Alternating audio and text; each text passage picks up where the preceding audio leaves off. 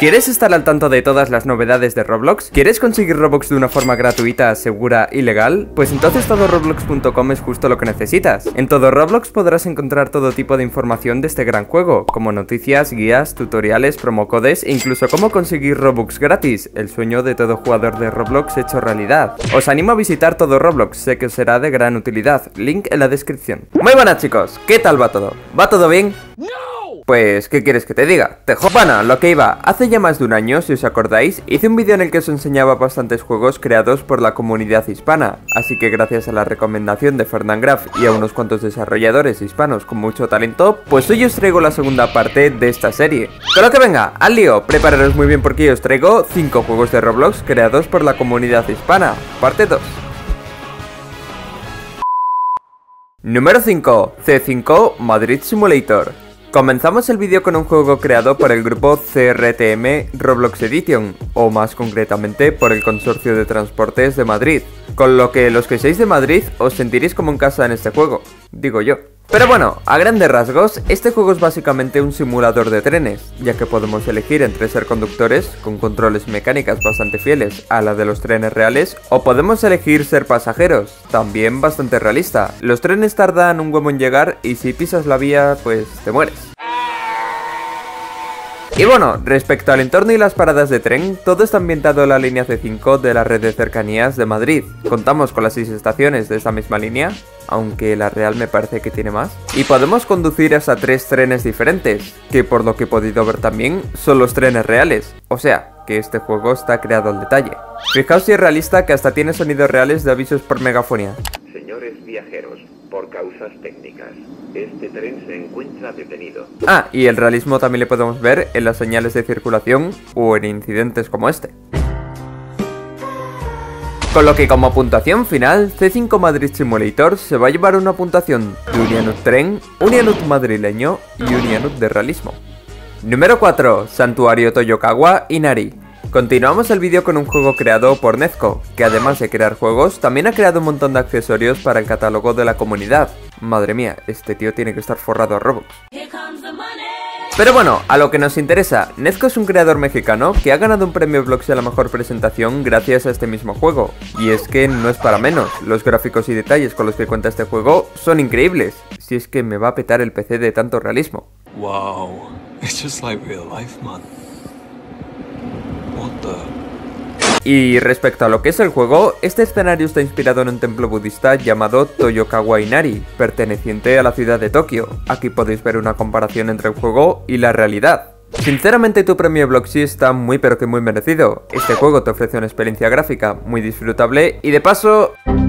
¿Eh? ¿Qué, ha pasado? Señora, ¿está bien? ¡Señora! ¡Levanta, señora! Con lo que como puntuación final, Santuario Toyokawa Inari se va a llevar una puntuación de un japonés, un de gráficos mega realistas y un premio Bloxy.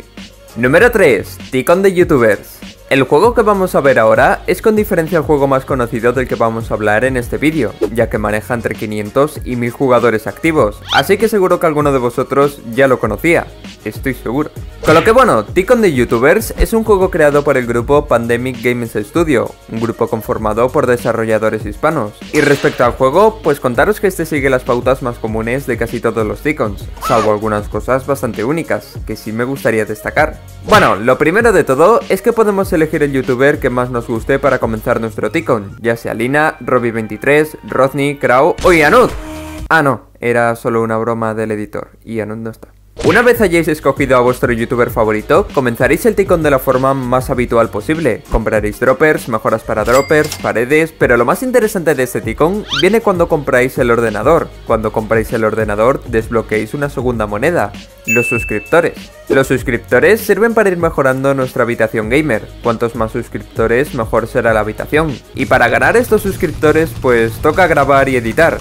Hombre, los vídeos no van a caer del cielo. Salvo cuando tengas editores, ahí sí que lo harán. Y pues en general ese es el ritmo que va a llevar este Ticon, mejorar la casa usando tanto dinero como suscriptores, y la temática de la casa cambia en función del youtuber elegido.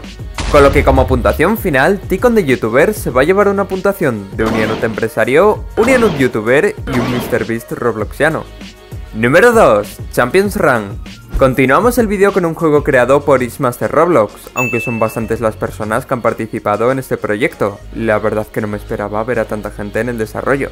Pero bueno, vamos al lío. A grosso modo, Champions Run es un juego de speedrun y de parkour. En cada ronda se cargará un mapa diferente y nuestro objetivo es llegar a la meta antes de que se acabe el tiempo y sin morir, ya que si morimos, cosa que es bastante probable, volveremos a la lobby y nos tocará esperar a la siguiente ronda.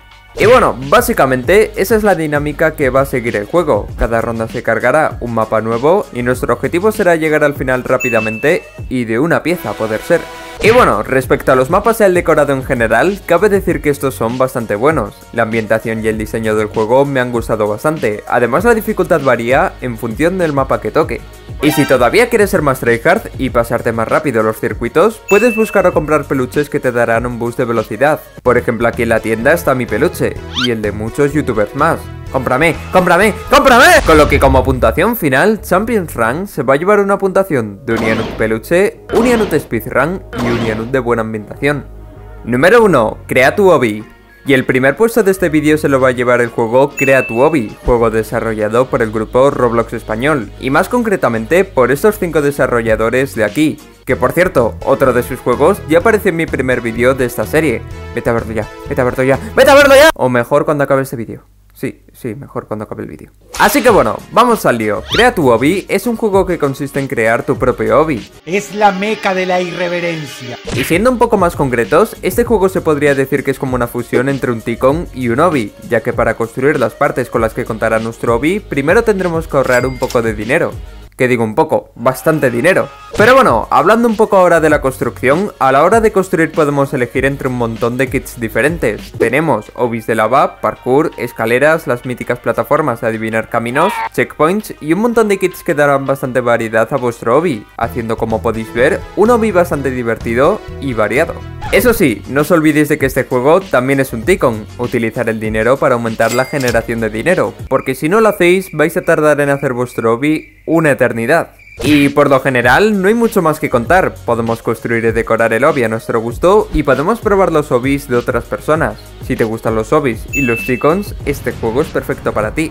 Con lo que como puntuación final, Crea tu hobby se va a llevar una puntuación de un Yanut constructor, un Yanut empresario y un Yanut de parkour. Os recomiendo mucho jugar a estos juegos si queréis pasar un buen rato y si queréis apoyar a la comunidad hispana de Roblox. Y hasta aquí el vídeo de hoy chicos, el avatar que he escogido para este vídeo pertenece a Sakeme de Nuevo León, por su avatar modo empresario, que además viene con sorpresitas si le miras desde atrás. La verdad que llevar un avatar así tienen que ser las risas.